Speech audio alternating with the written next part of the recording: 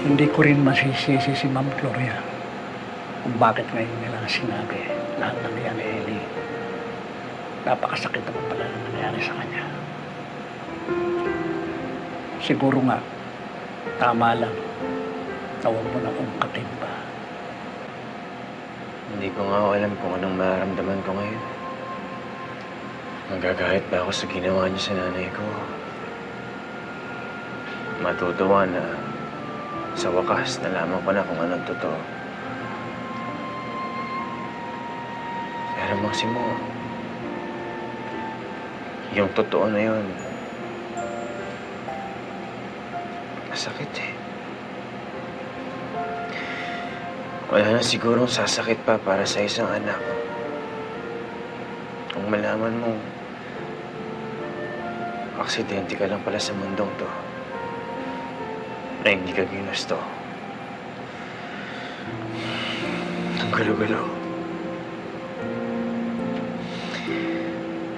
Pero, ayaw ko na kung muna talagang mag-isip sa ngayon. Ang importante yung sa akin, nagkaayos na kami ng nanay ko. Si Jackie ho, ay, tiyak matutuwa ako yun kung malaman niya na, na okay na kami ni nanay. Nako, sigurado ako dyan. Ditong mga nagdaang araw, matamlay si Princess. Halatang epektado sa mga nangyayari sa inyo.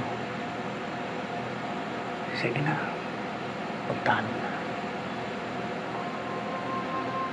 Ma, sana nandito ka na lang. Sana nandiyan na lang din ako. Sana nga pwedeng dito ka na lang talaga.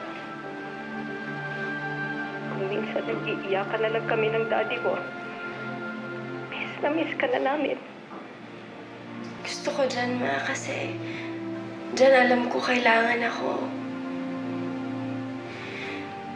Pero hindi ko rin naman maiwan sa Ellie eh. Hindi ko rin maiwan yung asawa ko. Kahit na alam mo, minsan ang lungkot-lungkot ko.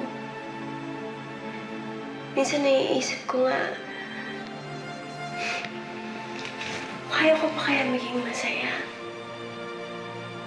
Ma, sana pagkising ko, kasama ko na ulit kayo.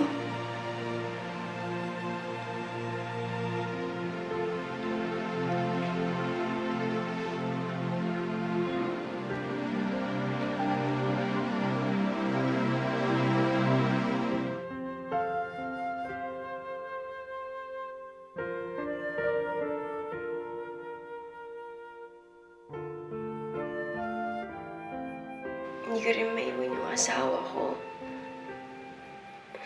Kahit na alam mo, minsan ang lungkot-lungkot ko. Minsan naiisip ko nga, kaya ko pa kaya maging masaya? Ma, sana pagkising ko, kasama ko na ulit kayo.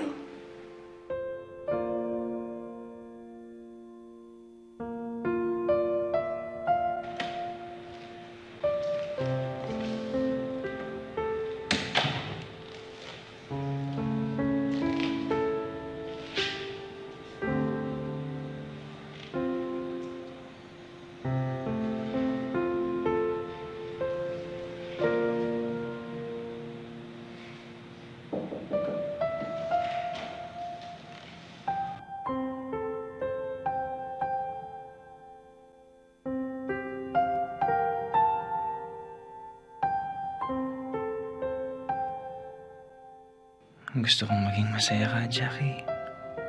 Pwede mo akong iwan. Pwede. Hayaan mo. Isang araw pagising mo, makakasama mo ng mga magulang mo.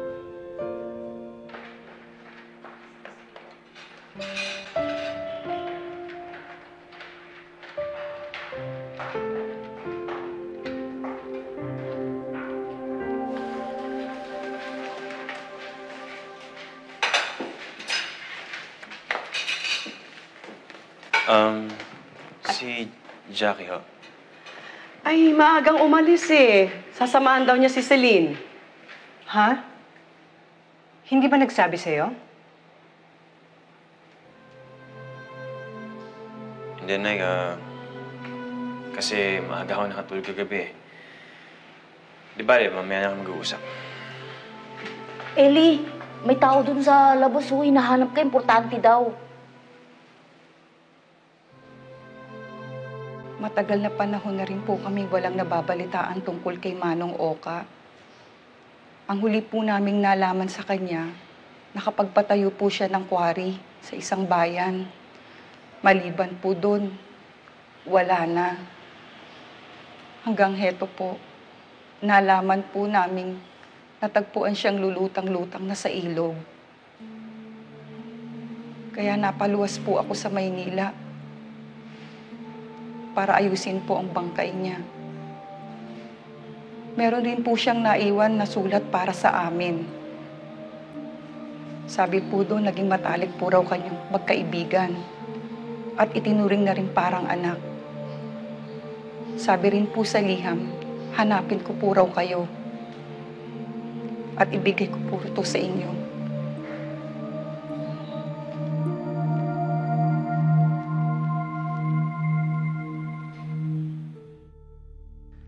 Nagbabakasakali ako na mababasa mo pa rin ang sulat na ito. Na matapos ang ginawa ko sa inyo, iniisip ko pa rin na sana ay natakasan ninyo ang kamatayan. Ellie, patawarin mo ako. Alam kong huli na. Patawad sa paghata ko sa iyo na palubog. Sa isang buhay na puno ng hinakit at kalungkutan, isang buhay na ng buhay na nagkaroon ako. Nabulag ako ng labis na galit kay Fidel dahil pinagdamot niya ang pag-asa ng aking anak na mabuhay ng normal ng masaya. Ginugol ko ang buhay ko para magplano, magiganti kay Fidel. Pagiganti na sisira sa pagkatao niya, sa puso niya, sa anak niya. Dahil anak para sa anak. Kung saan saan ako dinala ng pagkamuhi ko hanggang makarating ako sa iyo. Pinaikot kita sa aking mga kamay, ginawa kitang kampon. Inakawan ng sariling pag-iisip, itinulak sa galit, sa kasamaan. Ellie, ako ang dahilan ng lahat. Ako nagpahirap sa kapatid mo hanggang halos mamatay na siya at mabaliw. Hindi si Fidel, kundi ako. Hinayaan kong mabugbog ka.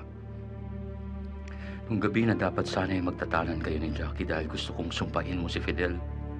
At ikaw, nang gumanti para sa akin. Pero nakuha ko man ang isip mo.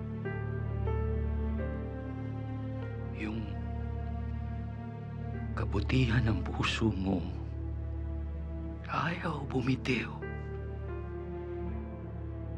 dahil kay Jackie. At ang mga panahong yon, hindi ako papayag. Sumunod ako sa gusto mo ayusin ang kasal ninyo pero wala sa plano yon. Alam mong galit ako. At hindi ako palalamang, Ellie. Hindi ako nagpalamang. Kaya sinikuro kong hindi matutuloy ang pag-iisang dibdib ni Jackie at naisa katuparan ko yun. Ellie, umarap nga kayo sa West at pumirma ng kontrata pero hindi kayo mag-asawa. Walang bisa ang inyong kasal. Sinasabi ko sa sarili ko ang lahat para sa anak ko. Pero marami akong buhay ang kinulo. Ikaw, si Jackie. Nakalimutan ko kung saan nagsimula ang lahat ng ito. Lahat dahil isa akong ama na nagmamahal sa kanyang anak. Dahil sa puot Nalimutan ko kung paano ang magmahal. Ellie, ituring mo sulat na ito na tuldok sa yugto ng buhay mo na nakilala mo si Mang Oka.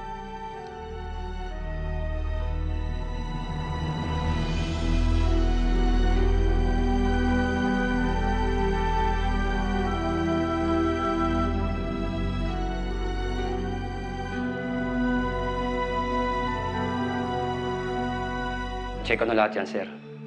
At nalaman ko, hindi nakafile sa National Statistics Office ang kasal niyo ni Miss Jackie. Ayon sa batas, hindi kayo talagang kasal mag-asawa. At yung taong nagkasal sa inyo, hindi na mahagilap ngayon.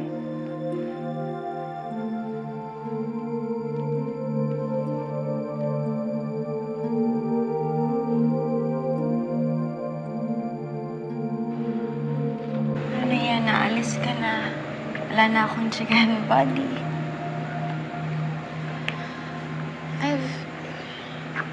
Really thought hard about what you said. Tama ka eh. I... I really have to grieve alone. Kasi... I can't cut it short eh. Kailangan ko talaga pagdaanan yung whole process. Baka mas matindi pa yung balik nun sa akin in due time. To everyone around me. Kaya naisip ko na lang na umalis muna. Lumayo. Saan mo balak pumunta?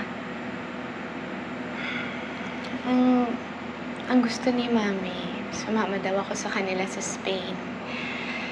Kasi doon itidestino si Tito Victor ng business nila. Pero hindi pa naman ako nagko-commit. I really haven't made up my mind kung, kung saan ba talaga ako pupunta. But, but ang alam ko lang, kailangan ko lumayo. Siguro hindi na kailangan kong gawin. Lumayo. Then, Jackie, why don't you? Baka ito yung kailangan mong gawin. Para mahanap mo ulit yung sarili mo.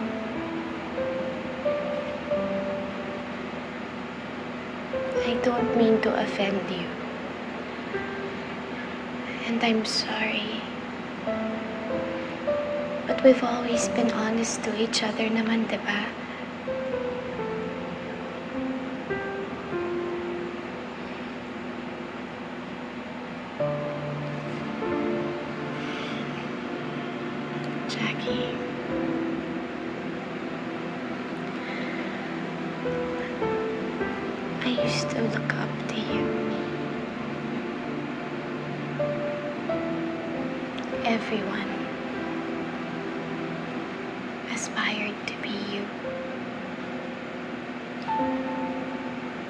Had so many facets that that set you apart from everyone. Mabuti kang anak. Pinsan. Pamangkin, kaibigan. Jackie, you even used to do charity work at ang dami mong natulungan dun. May negosyo ka pa na napalago mo. By yourself. You were everything. And you did everything. You were Jackie Madrigal after all.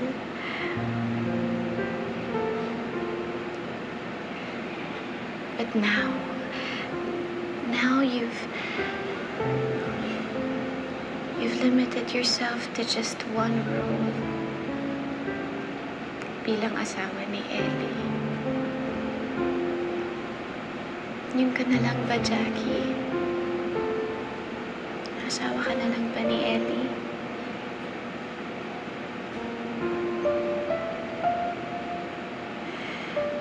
Is this who you want to be? Gusto mo ba kung sino ka ngayon? Kasi kung masaya ka naman, edi walang problema. Kung hindi, papayagan mo na lang ba na ganyan?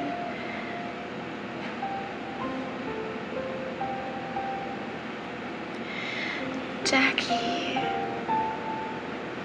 alam kong mahal na mahal mo si Ellie. And I know na na gusto mo siyang tulungan para mahanap ulit yung sarili niya. But Jackie, in doing so, in wanting to help Ellie find himself again,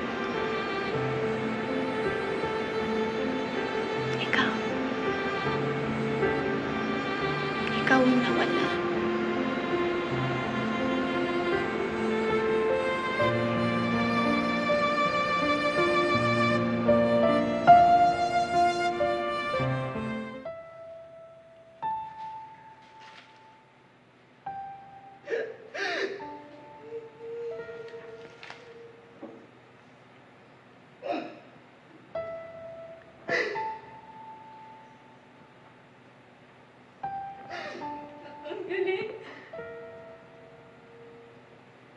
Ang galing-galing. Naloko niya tayo lahat. Ay naman nagpaloko tayo. Wala tayong kumalay-malay na. Na hindi tunay yung kasal. Na hindi mo ko asawa. Na hindi kita asawa.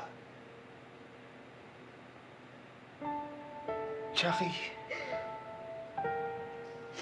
patawarin mo ako.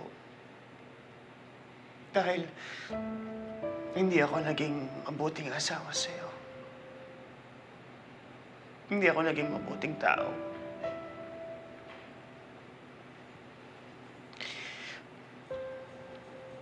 Sa buong panahon ng na tumira tayo sa ilalim ng iisang bubong.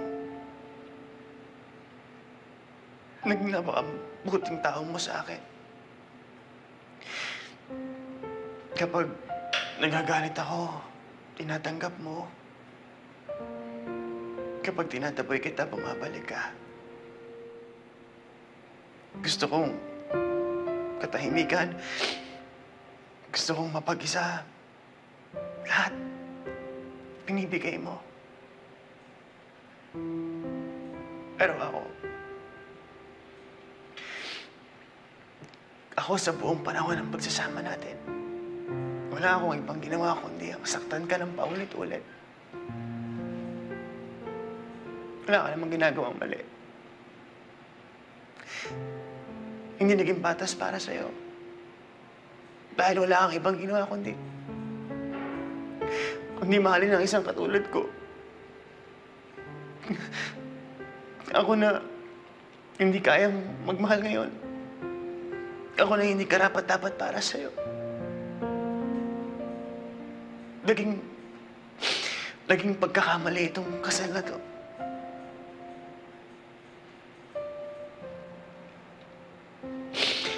Kaya ngayon, ngayon gusto ko lang gawing tama ang lahat.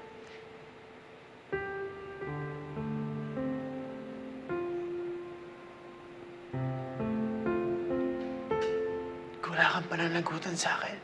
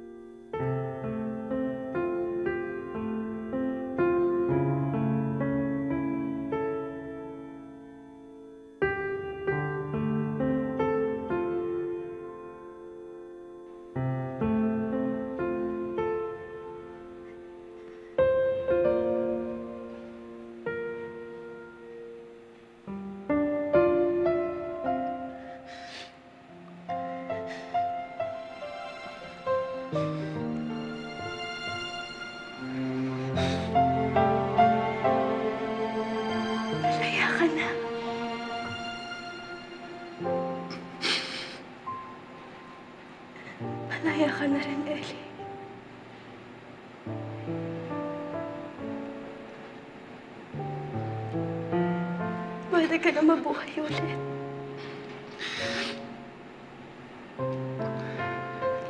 Pwede na rin ako mabuhay ulit. Na malayo sa isa't isa.